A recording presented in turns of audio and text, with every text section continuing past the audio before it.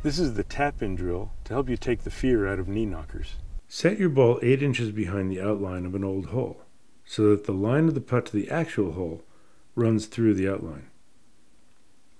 Then make your tap-in stroke toward the center of the outline.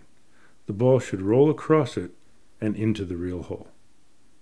Imagining a hole just 9 inches away on the path to the real hole gives us the confidence we have on a tap-in.